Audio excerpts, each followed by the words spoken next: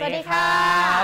มามาจะเล่าจะเล่าให้ให้ฟัฟังงอ่าวันนี้คุณผู้ชมอยู่ครักับบเรานะคะ ปอยพานุรัตน์ค่ะ และครับ ผมก้องเกียรติชัยครับค่ะหลากหลายเรื่องราววันนี้นะคะ ก็มีทั้งประเด็นที่มีการพูดถึงการประเด็นเรื่องของคนดัง ก็มีมาให้ติดตามรวมถึงเรื่องอืมของที่เราต้องมาลุ้นกันต่อว่าสรุปแล้วเนี่ยจะถึงเวลาที่เราจะได้นายกรัฐมนตรีแล้วหรืนั่นอนะยังสินะนะผ่านมาหลายเดือนแล้วเหมือนกันนะครับใช่ผมหลังจากการเลือกตั้งไปนะค่ะแล้วก็ประเด็นของเรื่องของใครจะซื้อรถเนี่ยโดยเฉพาะรถโบราณนะ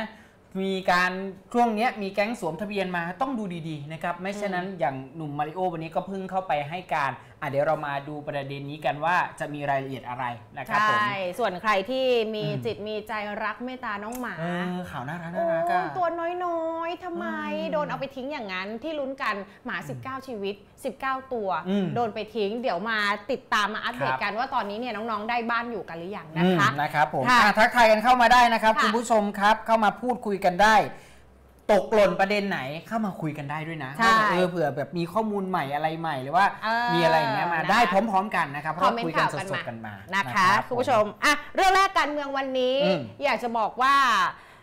ลองมาถัดท่องสูตรคูณกันไหมอ๋อคุณก็เปิดดูพร้อมกันเลยนะใช่อยากจะรู้ว่าคุณผู้ชม เป็นยังไงกันบ้างนะเออเสียงชงเสียงชัดกันเออดีไหมก็คอมเมนต์กันเข้ามานะครัคะบอะสูตรคูณที่เคยท่องกันมาตั้งแต่เด็กๆ คุณผู้ชมคะ2 1 2 2 2 4อ้าววันนี้ไม่ใช่ 2 2 4 เพราะสองนี่อะไรไม่ใช่นี่ไม่ใใช่สูตรการเมืองครับณวันนี้อะนี่ไม่ใช่สูตรคูณ แต่นี่เป็นสูตรอ่าการเมืองที่ณวันนี้เนี่ยเขารวบรวมเสียงกันได้ 2 2 8อืม สองหนึ่งสองที่ว่านั่นก็คือสารตั้งต้นครับเพื่อไทยกับภูมิใจไทยนี่ไงโอ้โหอ่าใช่ไหมก่อนหน้านี้ที่เขาแบบว่าจับมือกันครับจุ๊บปากกันนะคะอืมแล้วก็มารวมกันเป็น 212 เสียงอืมวันนี้เนี่ยทางด้านของเพื่อไทยเองเนี่ยก็ไปจัดการรวบรวมครับนะเป็นแกนนำจัดตั้งรัฐบาลแล้วนี่เนาะครับก็ไปจัดตั้งรวบรวมมาอีก 6 พักณวันนี้ครับเนี่ยรวบรวมได้ 228 เสียงนะคุณผู้ชมนะอืม6พักที่มีการรวบรวมวันนี้ คุณหมอชนน่านเนี่ยมีการอืมแถลงนะคะมีอะไรบ้างวันนี้นะคะคุณผู้ชมก็มีประชาชาติ ชาติพัฒนากล้าเสรีรวมไทยครับพลังสังคมใหม่ท้องที่ไทยเพื่อไทยรวมพลังและเดี๋ยวพรุ่งนี้เดี๋ยวมาดูกันว่าที่บอกว่าจะมีพักชาติไทยพัฒนามาร่วมด้วยอีกหนึ่งพักเนี่ยอืมจะเป็นอย่างไงนะคะ แต่ว่าวันนี้เนี่ยไปไล่เรียงดวนก่อนเพราะว่าวันนี้เนี่ยมี ตัวครับจี๊ดจี๊ดแต่ละคนโอ้ ออกมาให้สัมภาษณ์ แล้วเราก็ได้เสียงมาด้วยถูกต้องนะมีคะ หลายเหตุการณ์นะครับผมอืมอ่าภาพที่ทุกคนได้เห็นอยู่ตอนนี้ก็คือเป็นภาพที่เมื่อช่วงบ่ายที่ผ่านมานะครับที่มีการถแถลงเนาะหลังจากที่ทั้ง 6 พักนะครับผมตกลงเข้ามาร่วมจัดตั้งรัฐบาล หลังจากที่ก่อนหน้านี้นะครับผมจำได้ไหมว่าคุณอนุทินกับคุณอ่า นายแพทย์ชนน่านเนี่ยค่ะเขาแบบเป็นสารตั้งต้นอย่างที่พี่ปอยได้บอกใช่ไปสองหนึ่งสองไงาสองที่มารวมกันได้ เออแล้วก็มารวมอีก 6 ทั้งหมดรวมแล้วเนี่ยเป็น 8 พักค่ะ ที่จะร่วมจัดตั้งรัฐบาลนะครับ แน่นอนว่านายแพทย์ชนน่านนะครับ ผมก็ออกมาเปิดเผยข้อมูลเนี่ยบอกว่าโอเคแหละ ตอนนี้เนี่ยอ่าปัจจัยของการที่จะจัดตั้งรัฐบาลต่างๆเนี่ยเหตุปัจจัยมันมีหลายอย่างที่จะต้องเปลี่ยน ค่ะ นะครับเพราะว่าจริงๆเดินเกมอ่าเปิดไปพร้อมกันเหมือนกัน ดิฉันก็อยากจะดูว่าเอคุณอผู้ชมอยากจะดูเออคอมเมนต์มายังไงขอไปนะนะถ้าเสียงตีเข้าไปนะครับคุณผผู้ชมมอะก็คือว่าโอเคแหละ เริ่มแรกเนี่ยเดินตามเกมที่ตกลงกันไว้ เพราะว่าทำ MOU ไว้กับอีกขั้วหนึ่งค่ะ ในฝั่งหนึ่งของเริ่มแรกใช่ไหมแล้วก็ให้โอกาส 2 ครั้ง ค่ะ เมื่อ 2 ครั้งแล้วเนี่ยยังไม่สำเร็จ ทีนี้ไม้ต่อไปที่ตนเองรับมาเนี่ยก็เลยมารับ แต่ทีเนี้ยจำได้ไหมว่าที่มีภาพช็อกมิ้นท์อะไรออกไปที่มาค่ะ ร่วมสังสรรค์กัน หลายหลายๆพักเนี่ยเขาก็มองว่าเอางี้ได้ไหม พูดกันตรงๆเลยคือ1นึนี่ก็เป็นหนึ่งปัจจัยนะค่ะแต่ว่าเอาจริงๆเลยก้าวไกลเนี่ยไม่อยู่ในสมการได้ไหมถ้าไม่อยู่ในสมการเนี่ยอาจจะร่วมด้วยกันได้ ลองลองลองลองบวกลบเลขกันดูเออลองลองว่าคำว่าก้าวไกลไม่อยู่ในสมการในที่นี้ก็คือความหมายตรงๆ ก็คือว่าไปอยู่คนละฝั่งเลยอ่าถูกไหมออกอืมจากฝ่ายร่วมจัดตั้งเนี่ยไปอืมเป็นฝ่ายค้านเลยได้ไหมค่ะคนละฝั่งเลยอ่าถ้าหรือไม่อย่างนั้น ถ้าเพื่อไทยจะเป็นแกนนำจัดตั้งรัฐบาล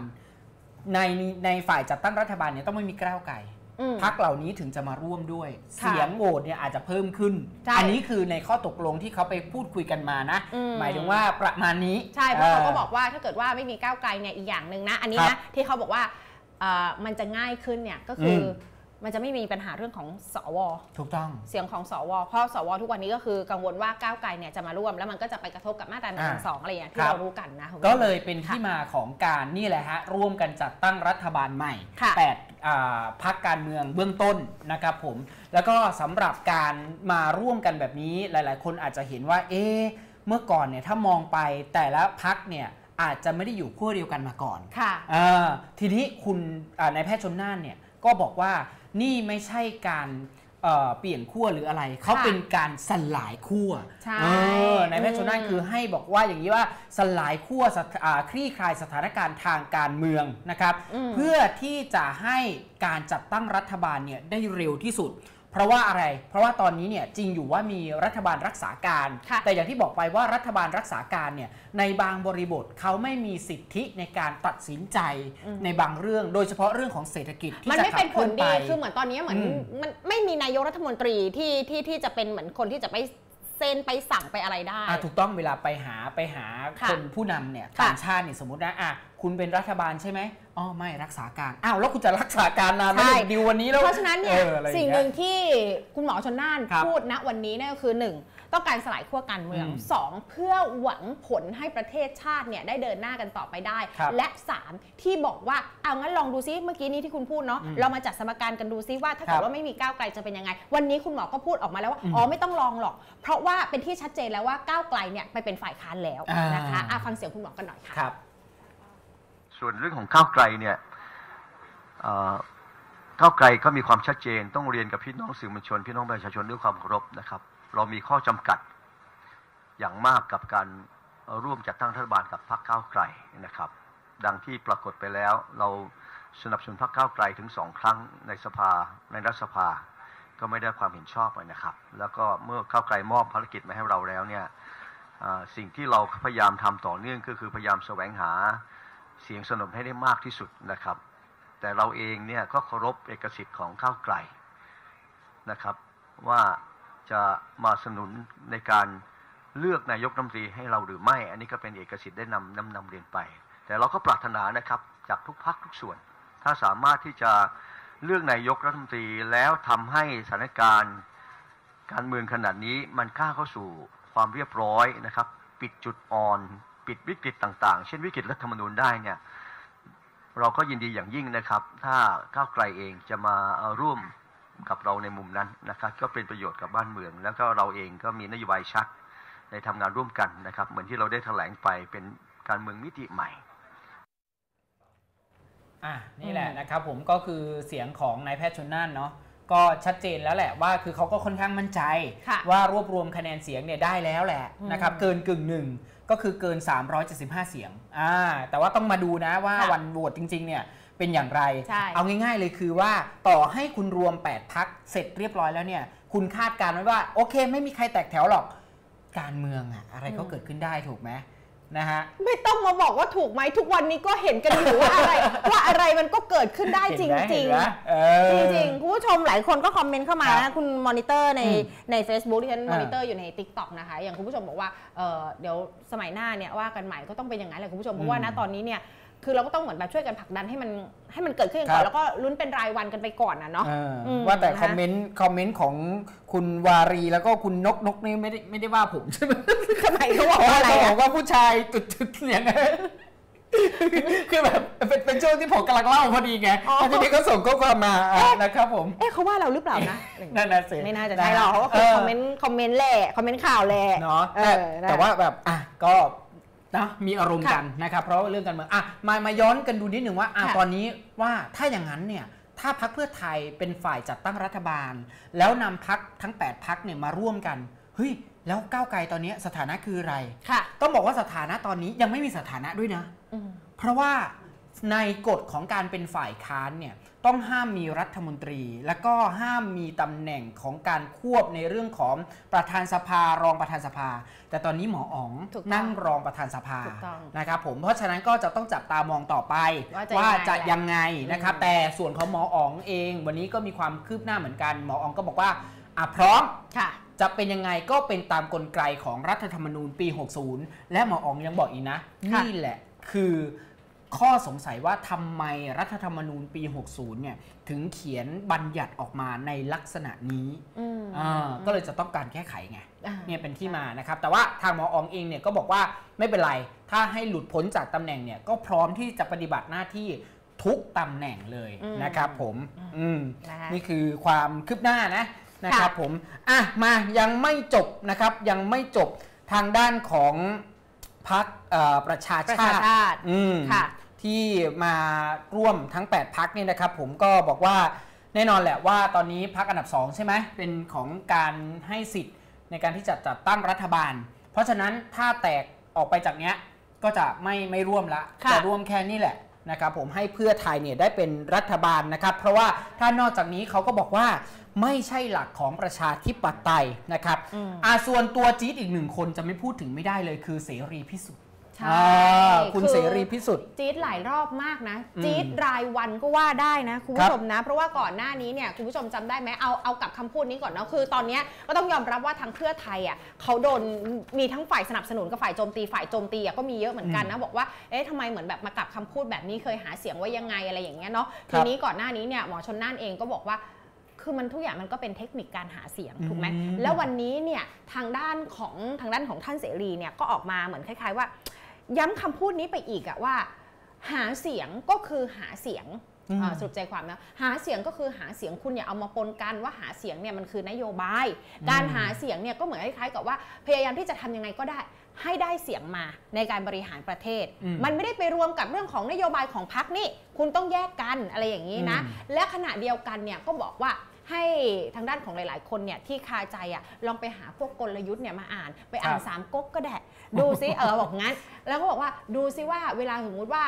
เราสามารถที่จะทำลายศัตรูได้แล้วเนี่ยฆ่าแม่ทัพตายแล้วเนี่ยอืมเราจะไปเข็นฆ่าไปไล่ฆ่าไพร่พลเขาไหม หรือเราจะเอาไพร่พลเนี่ยอืมมาใช้งานให้เป็นประโยชน์มาเป็นกำลังในการทำนงทำนานู่นนี่นั่นนี่กำลังกำลังเปรียบชัดๆคือเรื่องของไม่มีเราไม่มีลุง ก็นั่นแหละก็เป็นอย่างนั้น เอาถูกปะล่ะเพราะว่าเพราะว่าคือก็ก็โยงไปในเรื่องนี้ เพราะว่าท่านเสรีก็บอกว่า เพราะงั้นเนี่ยถ้าเกิดว่าถามว่ารวมไทยสร้างชาติณวันนี้เนี่ยอ่คือลุงตู่ไปแล้วท่านบายบายแล้วเออท่านบอกว่าท่านจะวางมือทางการเมืองแล้วครับถูกไหมนั่นก็เท่ากับว่าอะรวมไทยสร้างชาติแม่ทัพเขาไปแล้วแม่ทัพพ่ายอะเพราะฉะนั้นเนี่ยเหลือเหลือไพร่พลของเขาเหลือสมาชิกพรรคของเขาอืมหนึ่งสองอีกหนึ่งปอนั่นก็คือลุงป้อม ลุงป้อมณวันนี้เนี่ยถ้าเกิดว่า ยอมรับนโยบายทั้งหมดอืมถ้าเพียงแต่ลุงป้อมยอมรับนั่นก็หมายว่า แม่ทัพคนเนี้ยก็ยอมแพ้แล้วเหมือนกัยอมแพ้เพราะว่ายอมรับนโยบายนี้แล้วนี่อ่าถูกไหมอ้าวเพราะฉะนั้นเนี่ยก็เท่ากับว่าสองกำลังพลเนี่ยสองกองทัพเนี้ยแม่ทัพไม่มีผู้นำแล้วพ่ายไปแล้วอืมเพราะฉะนั้นแต่ยังราเหลือคนที่มีศักยภาพอยู่ เพราะครับฉะนั้นเนี่ยก็ มันก็ไม่ใช่ไม่ใช่เป็นเออการกลืนน้ำลายไหมอะเพราะว่าตอนแรกที่บอกว่าจะไม่เอาสองลุงอะก็คือเออไม่เอาไงก็ไม่เอาแม่ทัพแล้วไง แต่ยังเหลือแต่อีกฝั่งหนึ่งก็เลืแบพบระพงษ์อยู่ต่อให้ออกมาอย่างเงี้ยก็เหมือนการเลี่ยงบาลีหรือเปล่าต้องไม่รู้เอาฟังเสียงท่านหน่อยแต่เอาฟัฟังงเสีเสียยงงได้ท่านหน่อยท่านว่านะยังครับไงนะคะหลังจากการเลือกตั้งเสร็จสิ้นแล้วนะฮะพรรคก้าวไกลมีคะแนนเสียงอันดับหนึ่งนะฮะเราก็มีมติกันว่าจะสนับสนุนพรรคก้าวไกลนะให้บริหารประเทศนะฮะแล้วก็ทำทุกอย่างนะ แต่ปรากฏว่าพรรคก้าวไกลไม่สามารถที่จะเดินไปสู่จุดนั้นได้ ก็ต้องเปลี่ยนให้เป็นพรรคเพื่อไทยนะฮะในการที่จะจัดการบริหารประเทศโดยเสนอชื่อบุคคลที่เป็นนายกรัฐมนตรีแทนนะครับ ซึ่งขณะนี้พรรคเพื่อไทยก็กำลังนะฮะดำเนินการทุกวิธีการนะครับ เพื่อสลายขั้วการเมืองของทุกฝ่าย เพื่อจะเดินหน้าบริหารประเทศให้ได้นะครับ เพราะนั้น ผมจึงวิงวอนให้พี่น้องประชาชนได้เข้าใจว่าขณะนี้บางทีมีความเข้าใจผิดกันว่าในตอนหาเสียงเคยพูดไว้อย่างงู้นอย่างนี้อย่างนั้นอะไรต่างๆนะเพราะต้องยึดมั่นนะไปละเมิดไม่ได้อะไรต่างๆอันนี้ ผมอยากจะเรียนว่าในการหาเสียงมันคือการหาเสียงนะครับนะเพื่อให้คะแนนเสียงนะมาบริหารประเทศนะฮะมันไม่ใช่นโยบายพรรค ถ้าเป็นเรื่องนโยบายพรรคจะทำเรื่องโน้นนี้นั่นอะไรต่างๆให้พี่น้องประชาชนแล้วไม่ทำเนี่ยนะถึงจะถือว่าผิดสัญญา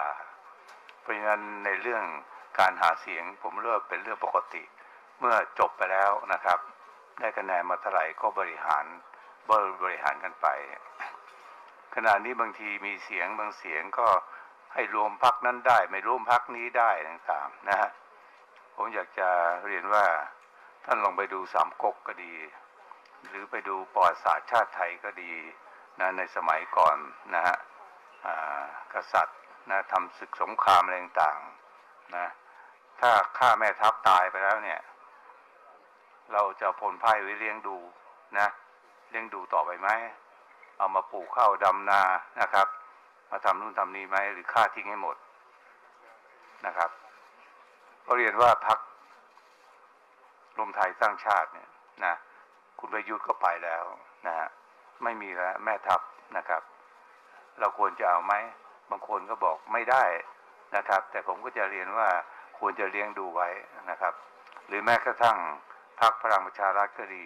แม่ทัพยังอยู่ แต่แม่ทัพก็ยอมแพ้ไปแล้วนะครับ เราจะเอาพลไพ่ต่างๆ มาเลี้ยงดูไหมก็ฝากเป็นข้อคิดให้พี่น้องประชาชนนะว่าขอให้เปิดใจให้กว้างนะครับ เพื่อ ที่จะสนับสนุนพรรคเพื่อไทยให้จัดตั้งรัฐบาลให้ได้นะครับอะอ่าขออภัยนะคุณผู้ชมนะ ใน TikTok นี้ที่พร้อมอกพร้อมใจร่วมแรงร่วมใจกันครับคอมเมนต์มาเค K เคเคเคเคนี่คือโอเคใช่ไหมคะเคเคเคเข้าใจเคโอเคเข้าใจอะไรอย่างเงี้ยนะเอออะเป็นอีกหนึ่งปรากฏการณ์ที่มีคนพร้อมใจกันคอมเมนต์เข้ามาเป็นตัวเดียวกันอ๋อเนาะนะคะก็ก็นะสุดแท้จะแปลกันไปครันะบคุณผู้ชมผมนะ แต่บางท่านเนี่ยก็บอกว่า อ๋อไม่อยากจะลุ้นอะไรแล้วรอฟังคำตอบเลยทีเดียวเออก็จริงแหละคุณผู้ชมหลายคนไม่อยากลุ้นก็บอกว่าเฮ้อเหนื่อย คือเราก็เหนื่อยกันจริง ๆ แหละแล้วก็รอฟังคำตอบกันเลยทีเดียวเหมือนกันแต่เราก็คิดว่าคำตอบในแต่ละวันเนี่ยมันจะเป็นคำตอบที่เคาะถูกไหมอืมคือณวันนี้เราคิดว่าเคาะแบบนี้อย่างเมื่อวานเนี่ยเราคิดว่าเคาะแบบเมื่อวานสัปดาห์ที่แล้วเราก็คิดทุกทุกครั้งที่มีการจับมืออะไร เราคิดว่ามันมันคือการเคาะแล้วครับ สุดท้ายมันไม่เคาะ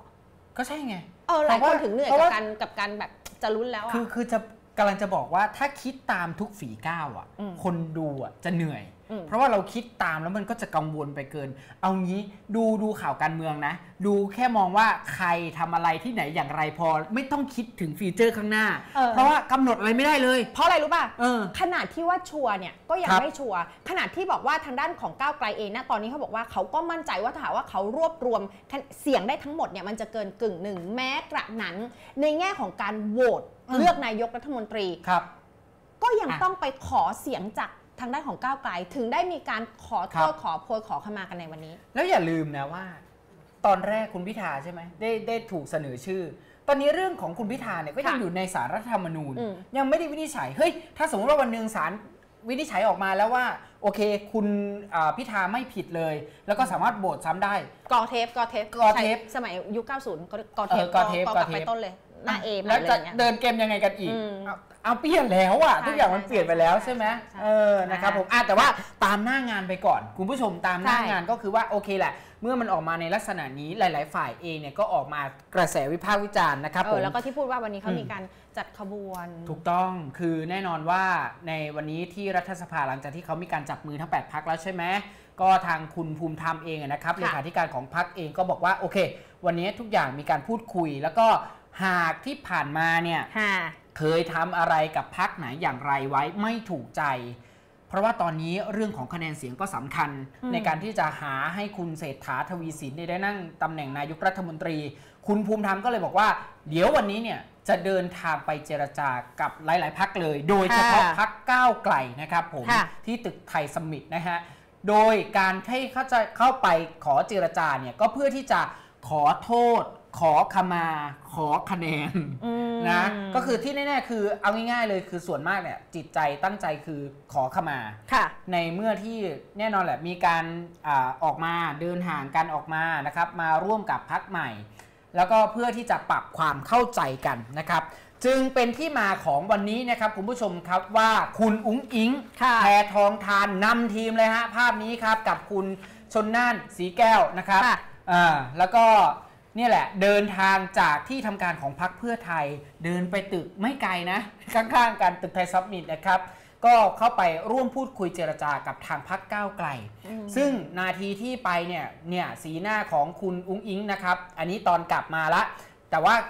สีหน้าที่ไปเนี่ยยิ้มแย้มแก้มปีเลยนะเออ ก็มีการพูพูดคุยทักเขาทายเป็นกับอแหล่งดีตข่าวคนหน่อยรักกันน่ะเปรียบเทียบนึกออกไหมโอ้โหเขาเคยส่งเทียบเชิญไปสู่คมสู่ขอคนเคยรักกันนี่ เดี๋ยวมันจะมีสมการนี้ด้วยที่นักอืมวิชาการออกมาวิเคราะห์เดี๋ยวจะพูดทีหลังว่า อดีตคนรักเนี่ยมันใช้ได้กับเดี๋ยวนะมีเหตุการณ์สมการนี้อีกใหม่มีอีกเหรออีกมีอีกอะเดี๋ยวประเสร็จชาชนอย่างเสร็จเราสถานการณ์นี้ก่อนนะครับผมค่ะก็คือนี่แหละภาพก็คือยิ้มแย้มไปพูดคุยเจรจาเนี่ยนาทีที่ค่ะขึ้นลิฟต์ไป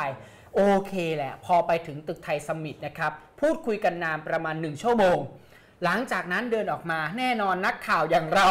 จี้ไม่ถาม ไม่คือคือเป็นการพูดคุยนี่คือหมายถึงว่าขอโทษเหรอ ขอนี่เข้าไงมาอย่างเงี้ยก็คือเขาว่าอย่างนั้นอืมเขาว่าอย่างนั้นก็จุดประเด็นก็คือว่าเข้าไปปุ๊บคุณอุ้งอิงเนี่ยก็เปิดเผยกับทางทีมข่าวนะ บอกว่าโอเค วันนี้เป็นการเข้าไปพูดคุยเจรจาค่ะแล้วก็ขอโทษขอคำว่าขอโทษขอขมาเนี่ยไม่ได้ขอโทษเป็นการโดยตรงค่ะเพราะคุณภูมิธรรมเนี่ยบอกว่า เปิดเผยกับสื่อมวลชนและขอโทษทางสาธารณชนไปแล้วอืมในเรื่องของการกรณีการขอโทษนะค่ะวันนี้เข้าไปเพื่อที่จะพูดคุยเจรจาว่าตอนนี้ขั้นตอนสถานการณ์เนี่ยของพรรคเพื่อไทยตอนนี้อยู่จุดไหนอืมเพื่อที่จะให้พรรคก้าวไกลเนี่ยเอ่อได้เข้าใจขั้นตอนของการทำงานนะครับค่ะผมส่วนเรื่องการพูดคุยวันนี้มันไม่มีข้อสรุปหรอกค่ะ เพราะว่าเป็นเพียงแค่การเจรจาให้เข้าใจกันเฉยอืมๆซึ่งฟีดแบ็กเองของคุณพิธาเองที่อยู่ในตึกไทยสมิธเองเนี่ยนะครับลักษณะท่าทางของคุณพิธาก็ดูเข้าอกเข้าใจกัน เข้าใจในต่างๆ คือเอาแต่ละจุดง่ายๆ ง่าย ๆ อย่างนี้คุณผู้ชมการที่เขาไปขอขมาขอโทษในครั้งนี้เนี่ยมันไม่ใช่เป็นการไปขอโทษว่าขอโทษนะ เรากลับมาอ่าดีกันกลับมาอยู่ด้วยกันได้ไหมไม่ใช่นะคะ แต่การขอโทษในครั้งนี้เนี่ยขอโทษเนี่ยรู้แล้วแหละว่า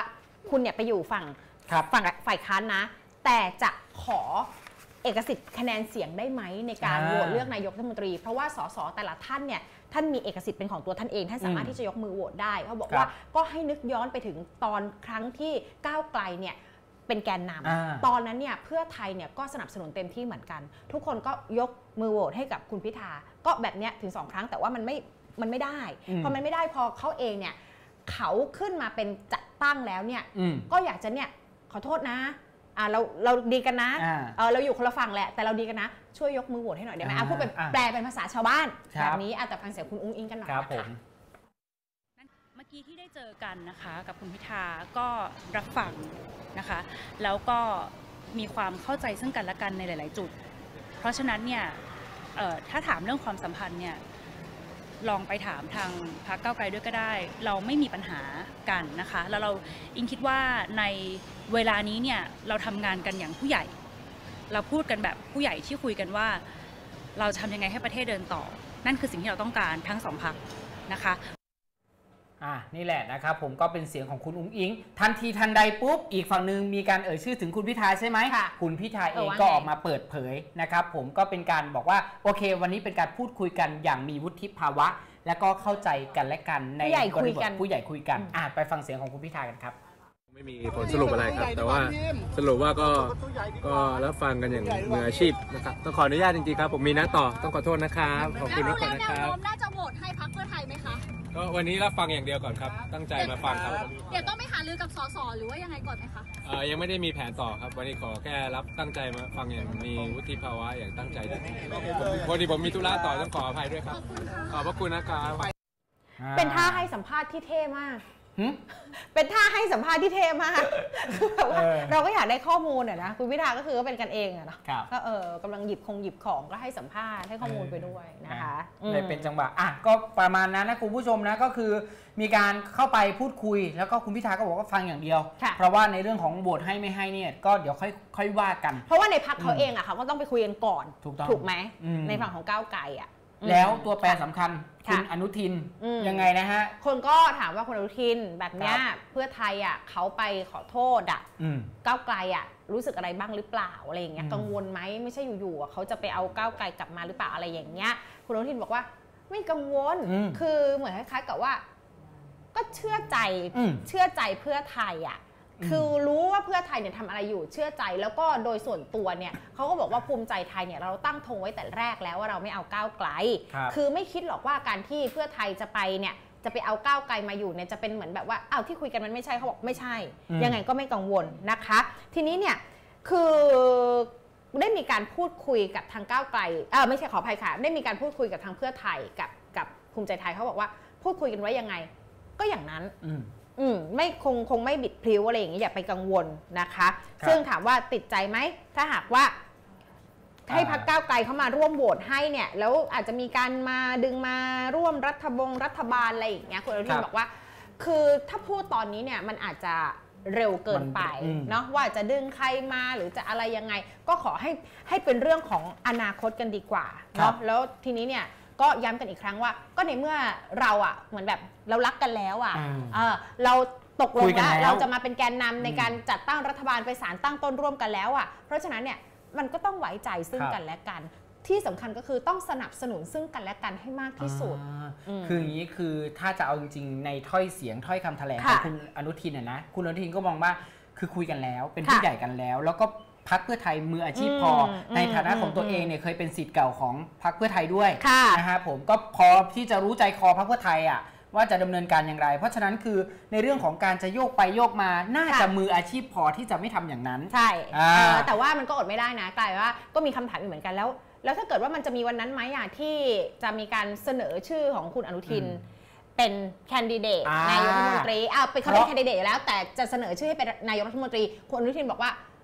ก็เดี๋ยวให้ถึงวันนั้นน่ะเออวันที่ภูมิใจไทยขึ้นเป็นแกนนำก่อนเดี๋ยวค่อยครับว่ากัน มันมันอีกไกล แต่ณวันนี้ก็อืมยอมรับว่าก็แค่นึกคิดถึงชื่อผมผมก็ดีใจแล้วเออเห็นไหมอืมเขาบอกว่าเฮ้ยได้ยินแบบนี้ก็ใจชื้นเหมือนกันนะเออก็ดีใจแต่เอาไว้ให้เป็นฝ่ายที่ เป็นคนจัดตั้งก่อนแล้วใช่กันใช่นะใช่ฮะนะคะทีนี้ผมค้างไว้ใช่ไหมค่ะเรื่องของสมการที่บอกว่าเป็นเอ้ยเป็นคนรักกันแล้วก็แยกทางกันไป แล้วคุณจะมาขอโทษอาชันค่ะใช่ไหมมีนักวิชาการมาบอกอย่างนี้ว่าเฮ้ยการที่พักเพื่อไทยเนี่ยจะไปขอคะแนนกับพักก้าวไกลเนี่ยมันจะเป็นได้มากน้อยแค่ไหน คืออย่างนี้นะฮะนักวิชาการออกมาเผเอ่อวิเอ่อเขาเรียกว่าอะไรอะให้ข้อมูลบอกว่าวิเคราะเอาห์อย่างนี้อะเปรียบเทียบง่ายๆเลยคือ ถ้าสมมติว่าพักเพื่อไทยเปรียบเสมือนคู่สาวเนี่ยคบกันอืมแล้ววันหนึ่งแยกทางกัน นะครับผมหนึ่แล้วงก็พรรคเพื่อไทยสาวคบกันอ่าอ่าพรรคเพื่อไทยไปคบกับอีกคนนึงอืมซึ่งพักก้าวไกลนี่นึเนี่ยกภาพรู้ตามอยู่นะนึกภาพตามอยู่ให้เป็นพรรคโมเดลพรรคตุ๊ตก้าวไกลนะเนี่ยรู้ว่าโอเคพักเพื่อไทยไปคบกับคนใหม่แล้วนะอืมซึ่งแยกทางกันแล้วแหละอืมเราแยกทางกันแล้วนะแต่ว่าณตอนที่กำลังแยกทางกันเนี่ยเธอก็ยังไม่ได้บอกบอกเลิกฉันอย่างจริงจังถูกไหมแต่ในขณะเดียวกัน ฉันก็เห็นภาพเธอไปคุยกับคนอื่นอืมอ่าทีนี้วันที่เธอตัดสินใจเลือกเขา เธอกลับมาหาเรา แต่ไม่ได้กลับมาง้อเรากลับเข้าไป เธอกลับมาบอกฉันว่า เราขอโทษนะ แต่เราขออย่างหนึ่งได้ไหม ขอให้เธอเนี่ยให้เงินฉัน แล้วไปสู่เห็นขภาพอคนที่สองได้ไหมอะเห็นภาพแล้วเนี่ย เห็นเข้าใจภาพปะแล้วเนี่ยเออแล้วมันจะเกิดขึ้นอย่างนั้นไหมอืมถูกปะอืมอืมอืมก็ถ้าเทียบเคียงเป็นแบบนี้อะมันก็เจ็บปวดอยู่นะ อะ มันก็เจ็บปวดอยู่ แล้วก็คือเหมือนเราก็พอจะจะเห็นภาพเราเราๆว่า อืมมันจะเป็นไปได้ไหมก็ถ้าอืมถ้าถ้าคุณเทียบเคียงเหมือนที่นักวิชาชัการดไหมพูดอะเออมันก็ชัดอะมันก็ชัดในในในมุมของของนักวิชาการนะอืมที่ค่ะที่เขามองอย่างนี้ว่า เอ้ย การเรียกการที่เพื่อไทยจะหวังคะแนนจากพรรคก้าวไกลเนี่ยค่ะเพื่อไทยอาจจะไม่ได้คิดสมการนี้ด้วยซ้ำเพราะว่าเขาอืมอาจจะคิดอยู่แล้วว่าแบบเนี่ยมันก็เหมือนในลักษณะนี้แล้วเราจะไปขอคะแนนเสียงเขาได้ยังไง เพียงแค่ว่าโอเคแหละ ไปขอขมาลาโทษกัน เพื่อที่จะไม่ให้ผิดใจกันในการส่วนตัว แต่ในเรื่องของการเมืองเนี่ยมันก็พูดยากอะอืม นะใช่ไหมล่ะ ใช่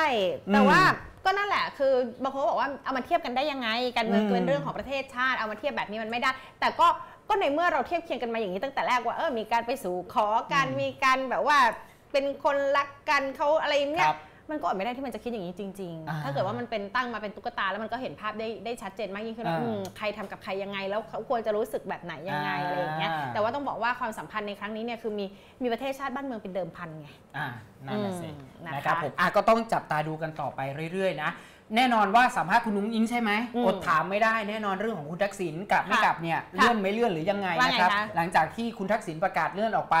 ซะก่อนนะครับรอค่ะให้สถานการณ์นิ่งหรือว่าไปพบคุณมงคุณหมออะไรให้เสร็จสับเรียบร้อยนะครับวันนี้เราก็ได้ถามคุณนุ้งอิงเหมือนกันว่าเออจะมีการประกาศอีกครั้งหนึ่งไหมคุณนุ้งอิงอืมว่าแบบคุณพ่อจะเดินทางกลับมาวันไหนเพอะไรราะว่าก่ยัอนงหไงน้านี้เพิ่มก็บเติอกว่ามไป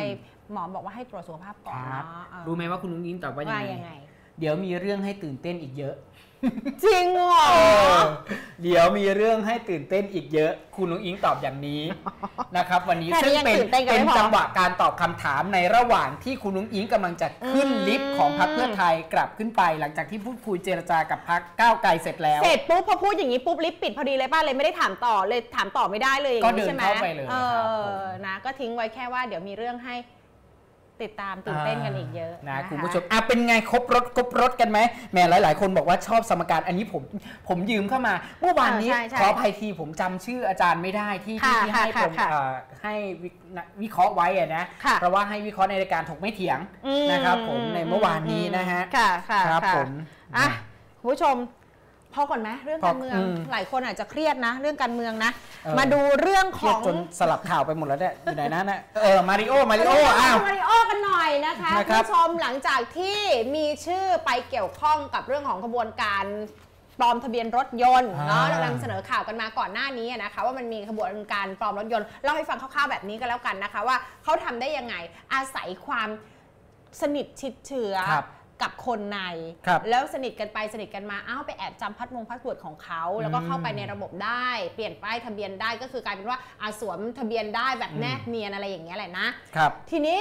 เราก็ตามข่าวเรื่องนี้กันมาเรื่อยๆ ก่อนหน้านี้เองเนี่ยก็มีการเผยอักษรย่อนะคะอุ้ยมีดาราเข้าไปเกี่ยวข้องอักษรย่อมอม้านะคะ ไปไปๆมาๆก็อาเฉลยออกมาแล้วว่าเอาคุณมาริโอนะคะว่าคุณมาริโอเนี่ยไปเกี่ยวข้อง แต่ว่าทีนี้เนี่ยตำรวจก็บอกว่ายังคุณมาริโอเนี่ยยังไม่ได้มีความผิดนะอืมคุณมาริคุณมาริโอเนี่ยเดี๋ยวเรียกตัวให้มาให้มาเป็นเอ่อพยานก่อนพยานในฐานะพยานเออนะครับว่าว่าอ้าวแล้วไปมีส่วนเกี่ยวข้องกับเขายังไงบ้างอืมก่อนหน้านี้คุณมาริโอก็ได้แต่ให้ข้อมูลคร่าว ๆ มาจนวันนี้เนี่ยครับก็ ถึงเวลาที่มาให้ข้อมูลกับทางด้านของเจ้าหน้าที่แล้ว เราก็อืมสังเกตสีหน้าสีตากันนะคะโอ้โหนี่เป็นยังไงวันนี้มาริโอเครียดหรือเปล่าอะไรอย่างก็เงี้ยเท่าที่ดูเนาะค่ะจากการสังเกตนะครับมาทั้งผู้จัดการส่วนตัวด้วยแล้วก็ทนายความนะครับค่ะในสีหน้าของคุณมาริโอนี่ไงเป็นไง หลายๆคนอาจจะมองว่าเออหล่อนะ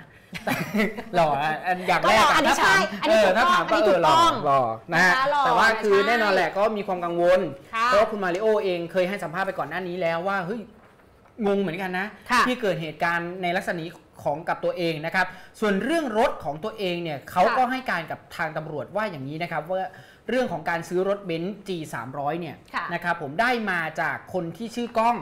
ค่ะซึ่งสนิทสนมกันนะครับ ซึ่งคนชื่อกล้องเนี่ยเคยขายเฟอร์นิเจอร์ให้ตนเอง ใช่กล้องเกียรติชัยบุญราโสหรือเปล่า ไม่ใช่ อ๋อไม่ใช่เออคุณนะเพราะว่าคนละกล้องกัน โอเค กล้องนั้นเนี่ยคือบอกว่าเป็นอืมคนที่สนิทสนมกันมา แล้วก็เหมือนเคยมีการครับซื้อของเนี่ยแหละค่ะเพราะเหมือนเขามีความชอบคล้ายๆกันซื้อเออของกงของเก่าซื้ออะไรในกลุ่มสะสมอะไรอย่างเงี้ยครับบอกว่า มันก็ไม่เคยมีปัญหา อืมเพราะว่าเคยซื้อแล้วเอาเงินไปก็ได้ของมา แล้วก็ครับคือเหมือนแบบว่ามาอยู่ในเหมือนแบบเป็นกลุ่มรักรถเก่าอืม เหมือนกันนะคะ ปรากฏว่าพอครั้งนี้เนี่ยคนเนี้ยเขาก็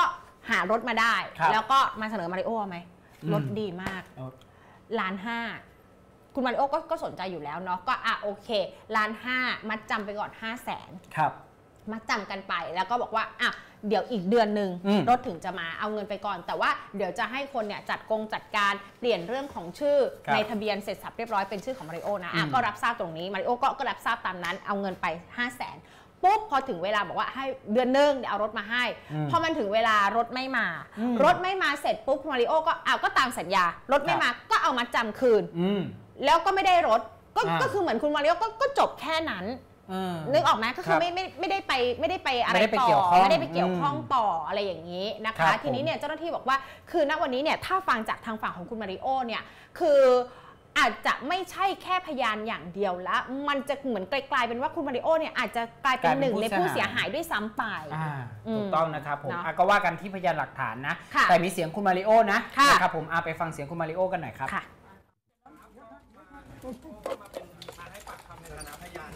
เรากังวลตรงไหนไหมคะพี่โอไม่ได้กังวลอะไรครับ เรารู้ไหมคะว่าทะเบียนรถที่เราได้มามันไม่ถูกต้องเลยทุกอย่างลงไปข้างล่างไม่พอ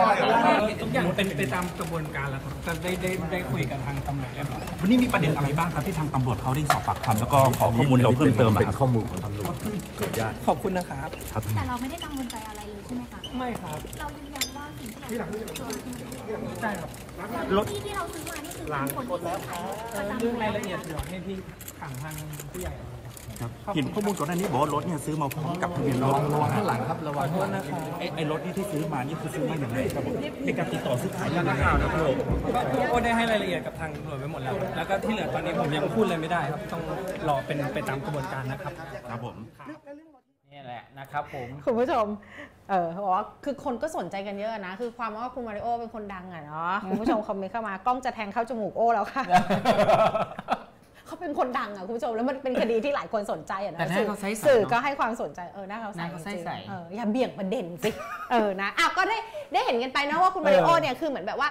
ไม่ได้เครียดหรอกแต่ว่าในสีหน้าเนี่ยก็ยังครัคบงมีความกังวลให้เห็นบ้างอะไรอย่างเงี้ยแหละใช่คือคนเรามันเกี่ยวไปเกี่ยวข้องกับคดีคงคดีความอะอืนะมมันก็ต้อง ก็ต้อง แล้วมันคดีใหญ่กังวลเป็นธรรมดา คดีสวมทะเบียนอะถูก ออเป็นคดีใหญ่นะครับ ด้วยนะคะ เดี๋ยวก็ต้องติดตามกันต่อไปนะ เพราะว่า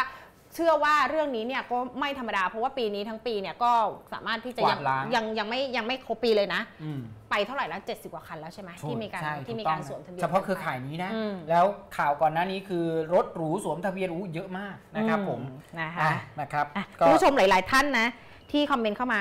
ยัง move on จากการเมืองไม่ได้อืมยังคอมเมนต์เข้ามาเรื่องของการเมืองกันอยู่นะคะเข้าใจเออเข้าใจนะคุณผู้ชมอะนะไปเรื่องของหัวใจรักรักใคร่ๆกันหน่อยดีกว่านะครับคะอันนี้ต้องบอกว่าเริ่มต้นไม่สวยแต่ปรากฏว่าจบลงด้วยดี เออ คืออมด้วยดีไหมแต่ว่าเอาเป็นว่าจบแล้วกันนะอะจบด้วยดีหรือเปล่าจก็บเอออะเดี๋ยวคุณผู้ชมตัดสินเอาแล้วกันนะครับนะคะผมเรื่องกรณีของครูไพบูลย์นักค่ะแต่งเพลงค่ะชื่อดังนะครับค่ะซึ่งเป็น สามีของคุณกระต่ายพนิพานะค่ะแล้วก็มีกรณีกับเรียกได้ว่าอดีตแฟอนดีตภรรยาอ่าอดีตภรรยาแล้วกันนะครับคุณเอกัมิเอรามิรานะค่ะก็เป็นเรื่องฟ้องร้องกันน่ะหลายคดีเลยนะค่ะจริงๆแล้วหลายกรณีหลายอย่างนะครับผมแต่ว่ามาจบมหากาบนะครับผมก็คือเรื่องของการยื่นฟ้องหมิ่นประมาทอดีตภรรยานะครับก็ทางคุณเอมิลาเองออกมาเปิดเผยทาง Facebook นะครับบอกว่า ตามที่เอได้ให้สัมภาษณ์ออกรายการหนึ่งกล่าวพาดพิงถึงโจทย์ทั้งสองก็คือคุณไพบูลย์แล้วก็คุณค่ะกระต่ายนะครับ อันอาจทำให้บุคคลทั้งสองเนี่ยเสียหายนะครับซึ่งทั้งสองฝ่ายขอโทษตกลงกัน ไม่ติดใจดำเนินคดีต่อกัน และโจทย์ทั้งสองขอถอนฟ้องค่ะอ่าก็คือว่าเอาง่ายๆภาษาบ้านๆเราก็คือทางครูไพบูลย์คุณกระต่ายถอนฟ้องเอมิรา ในเรื่องของค่ะกรณีที่โพสต์หมิ่นประมาท อืมอ่า เลิกแล้วต่อกันคุณเอกเขาสวยขึ้นเยอะนะ อ่าจากตอนแรกที่เป็นเป็นข่าวเลยคุณจำใช่ไหม ได้ไหมตั้งแต่ตอนนู้นที่เป็นข่าวตอนแรกจำได้อะจำได้ เออวินี่เขาสวยจังเลยอะ สวยไหม ดูสิ เออนะคะ เออ ดูสดใสมีราศีนะครับ เออสวย move on move on แต่ละคนก็คือ move on กันต่อไป เพราะว่าคุณเอ๋เองอะก็มีการโพสต์ใน Facebook ส่วนตัว แล้วก็ทางด้านของครูไพบูลย์น่ะก็เอา Facebook ของเอาเอาของคุณคุณเอ๋เนี่ยมารีโพสต์อีกทีหนึ่งเนี่ย นะคะ ใช่ในหน้าเฟซของตัวเองเนาะทุกว่าทุกคนคนก็ต่างมีแยกย้ายชีวิตทำมาอืมหากินกันนะครับผมนะคะอะคุณก็ผู้ชถือมว่าจบเนาะอืมจบใช่จบเดี๋ยวอ่านให้ฟังชัดๆ ชัดๆ อีกอะครั้งหนึ่งอะอีกครั้นะงหนึ่งคะ ก็คือมีการพูดบอกว่าครูไพบูลย์เนี่ยมาโพสต์ แล้วก็บอกว่าทุกคนเนี่ยต่างทำมาหากินตามทางของใครของมันต่อไป อโหสิกรรม อภัยทานนะคะคุณผู้ชมอะหลังจากที่เราลุ้นกันมานานก็ถือว่าเขาจบละครับเรื่องนี้นะคะ แต่จบลงด้วยดีหรือเปล่าเนี่ยก็ก็น่าจะดีแหละ นะอืมทุกคนก็คือต่างต่างมีทางขครัองบตัวเองผมคุณเอกก็สวยขึ้นนะคะอ่าอืมนะนะฮะอะค่ะก็ยินดีด้วยนะครับค่ะมาดู อีกกรณีหนึ่งนะครับที่เป็นกรณีที่แรกๆเนี่ยเริ่มต้นมาด้วยความอุ้ยหดหูเหมือนกันนะอืมไหนดูซินะรับคุณผู้ชมสำหรับคนที่รักหมา move on จากเรื่องการเมืองได้หรือยังอุ้ยผู้ประกาศนะคะข่าวก็ในน่าเฟซรักครับใช่ไหมเอาตีเป็นว่าชมทั้งสองเลยแล้วกันเนาะไม่รู้ใช่ว่าชมใครก็ตีเป็นทั้งสองเลยคุแล้ณวกันผู้ชมยังไม่ move on จากการเมืองกันอีกเหรอคะที่ที่คอมเมนต์กันเข้ามาอะเราจะไปดูเรื่องของน้องหมากันแล้วนะ คุณผู้ชมนะอะหมา 19 ตัวคุณผู้ชมตัวน้อย ๆ ตัวหนอนๆตัวแดงๆนะคะ แล้วมันมีมีหลายไซส์เนาะแต่ก็ยังเป็นหมาเล็กอยู่เนี่ยนั่นเห็นไหมน่ะบางตัวเป็นเป็นหมาเล็กแบบโตขึ้นมาหน่อยบางตัวบอกว่ามันยังเป็นหมาอ่อนๆอยู่เลยโอ้ยดูสิน่ารักอะไรอย่างเงี้ยนะก่อนที่จะมาน่ารักแบบเนี้ยคุณผู้ชมคะ19 ตัว 19 ชีวิตมีคนไปเจอมันถูกเอาไปทิ้งไปแช่น้ำอะอุ้ยน้องๆดูเนี่ยสิ คือสภาพที่เขาไปเจอน่าสงสารนะครับผมเออที่เขาพูดกันถูว่าคุณผู้ชมเคยได้ยินไหมสภาพเนี่ยนะเหมือนลูกหมาตกน้ำอ่าเออมันเป็นอย่างนี้จริง ๆ อะชัดเลยคือมันแบบเนี่ยดูสิ มันเป็นลักษณะอย่างเงี้ยคุณผู้ชมคะ แล้วเขาก็ถ่ายรูปมาเนาะแล้วก็ครัเอาบ ไปโพสต์ในเฟซนะคะ คนคนนี้เป็นคนใจดีนะ คุณผู้ชมนะ ก็คือชื่อคุณสุภัตราลินทองอายุ 30 ปีก็บอกว่าดูซิเนี่ย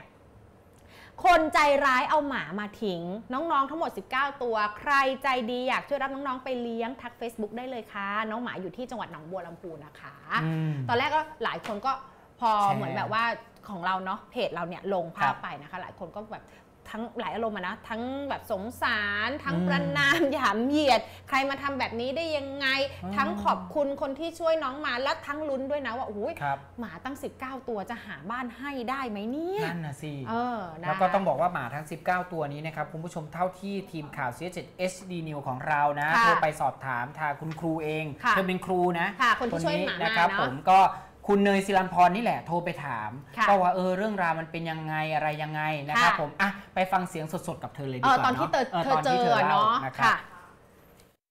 แรกๆขับรถไปจอดก็เดินหาเดินหาแป๊บเดียวแป๊บเดียวเท่านั้นก็ได้ยินเสียงน้องเพราะว่า อาจจะด้วยน้องหลายตัว พอหลายตัวปุ๊บเราเสียงดัง น้องเสียงดังก็ เราก็เดินหาแป๊บเดียวเราก็มองมองเห็นค่ะ คือเราเราหาทางว่าเราจะเข้าไปทางไหนได้เพราะว่า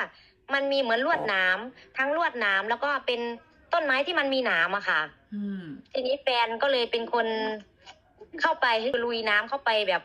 อ่าแบกลวดน้ำเข้าไปมุดเข้าไปจับน้องออกมาจับน้องมาทีละสองตัวทีละตัวก็คือ ถ้าคือรีบเอาออกจากน้ำให้เร็วที่สุดหนูก็ยืนรอรับ แล้วก็เอามาวางไว้ที่พื้นฝนก็ตกอย่างเงี้ยค่ะทีที่ว่าแฟนบอกว่าให้ถ่ายรูปไว้ ไม่งั้นก็ก็จะไม่มีรูปน้องๆไปโพสต์ให้คนเมตตาน้องๆเนี้ยค่ะ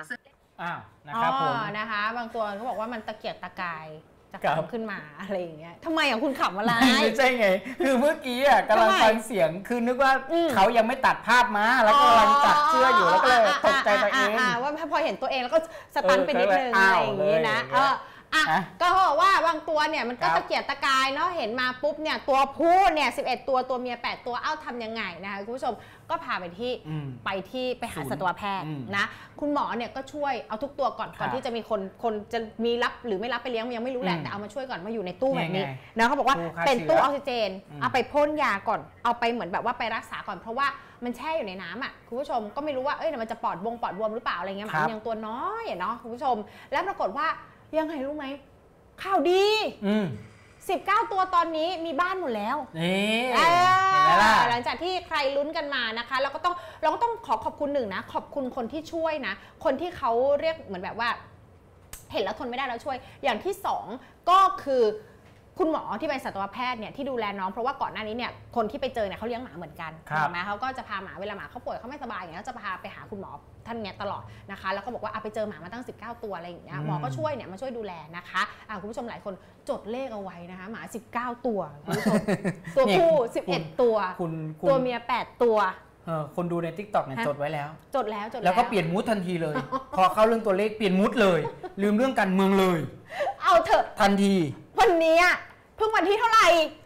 วันที่ 9 เดี๋ยวมันมีอีกหลายเลข 9 อีกกี่วันนะหลายวันเออหลายวันเออเดี๋ยวมันมีเดี๋ยวเดี๋ยวมีเอาสูไว้ตรก่อนเดี๋ยวมีสูตรการเมือง เดี๋ยวมีเรื่องหมานู่นนั่นนี่เยอะแยะมากมายเออเออแต่อันนี้ะน้องเขาโชคไงโชคอะอ๋อเออมากับโชคอ่าอ่านะคะก็ครับเอาเป็นว่าน้องเนี่ยได้ที่บ้านครับกันหมดแล้วแล้ว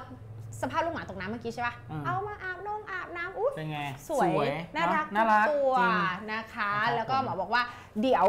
จองจับจองไว้แล้วก็จริงมีบ้านแล้วก็จริงแต่ว่ายังยังให้ไปเลี้ยงตอนนี้ไม่ได้ อ่าเดี๋ยวเอาดูให้ให้มั่นใจก่อนให้แน่ใจก่อนว่าครับ เอาทุกตัวเนี่ยปลอดภัยและไม่มีเรื่องของปอดบงปอดบวมเรียบร้อยแล้ว ถูกต้อง เดี๋ยวส่งให้ในแต่ละบ้านเออได้เอาไปเลี้ยงกันแล้วก็นะคะ ฝากหน่อยนะ คุณผู้ชมอืมเรื่องของค่ะปัญหาหมาจร ถ้าสมมติค่ะว่าทิ้งไปแล้วน้องเขายังอยู่ในธรรมชาติได้อะอืม สมมตินะ ก็จะกลายเป็นหมาจรนะเอาแล้วถูมันกใช่ เราจะได้สมมติไม่มีคนไปเจอไม่มีคนเอาไปเลี้ยง เออ แล้วถ้าเกิดเขารอดชีวิตนะ เราจะได้หมาจรจัดเพิ่มมาอีกตั้ง 19 ตัวคิดดูนั่นในน่ะสิพื้นที่อะแล้ว19ตัวแล้วคูณไปต่อปีต่อปีที่เขาผสมพันธุ์กันนะคุณผู้ชมนะคะเพราะฉะนั้นแล้วน่ะคือทางแก้นะ ถ้าสมมติว่ามันออกมาเยอะโพสต์หาบ้านหรือหาอะไรอย่างนี้ก็ได้นะครับผมหรือว่าถ้ามีทุนทรัพย์หน่อย หางบประมาณซะแล้วก็พาน้องเขาไปฉีดหมันซะไปทำหมันรือว่าตั้งแต่ทำหแรมักนๆเลยนะครับผมนะใช่คะเนี่ยเรายังคิดเลยนะว่าแบบ 19 ตัวอืมจะมีคนรับเลี้ยงไหมว่าแต่เอาจริงๆอะเออมันกลายเป็นว่ามีคนที่รับเลี้ยงเหมือนกันเพราะฉะนั้นเนี่ยถ้าเกิดใครแบบไม่ได้ตั้งใจแล้วเกิดเฮ้ยหมาเราแบบว่าอืมออกลูกออกมาตั้งหลายตัวลองโพสต์ดูก่อนไหมอะเออเผื่อมีคนที่เขาอยากอยากเลี้ยงอยากหาเนาะเพื่อนอยากหาเพื่อนไปเลี้ยงสักตัวแต่แบบไม่อยากซื้ออยากจริงอยากอุปการะอะไรอย่างเอเงี้ยอเหรือท้ายที่สุดแล้วอะถ้าโอเคระบายไม่หมด 19 ตัวหรือสัก 3 ตัวอย่างเงี้ยเออลองปรึกษาหลวงพ่อดูหลวงพ่อรับเพิ่มไหมอีกแล้วเหรอ ที่วัดเนี่ยอาตมาก็ไก่ไก่หน้าผากแล้วนะหลายตัวแล้วนะก็โยดีมกว่าเขาไปตามยถากรรมเออเออนะครับผมก็จริงอย่างน้อยๆคือหลวงพ่อก็ได้อะอ่าปัจจัยจากญาติโยมมาได้ฉีดหมันได้อะไรให้เขามีดำรงชีวิตต่อได้เออเดี๋ยวกลายเป็นประเด็นอีกนะ เพราะหลายๆ วัดก็บอกว่าพอเถอะโยมเอาภาระมาทิ้งให้วัดหลายตัวแล้วอะนะนะคะนะครับผมอะวันนี้ะขรัอบคุณทุกๆ คอมเมนต์เลยนะคะคุณผู้ชมทั้งจากทาง Facebook แล้วก็ TikTok ด้วยนะคะ คุณผู้ชมยังสามารถติดตามเราได้ทุกๆเส้นทางอะทุกๆ ช่องทางครับเช่นเคยนะคะ ไม่ว่าจะเป็นแฟนเพจ c 7 HD News นะคะครับทาง Facebook นะคะ ทาง TikTok นะคะ Instagram Twitter รวมถึง YouTube ด้วยนะใช่คะนะครับอะผมอะค่ะเดี๋ยววันนี้เวลาหมดหมดเวลาใช่มาพบกันใหม่นะคะนะครับผม สวัสดีคสรัวัสดีบค่ะ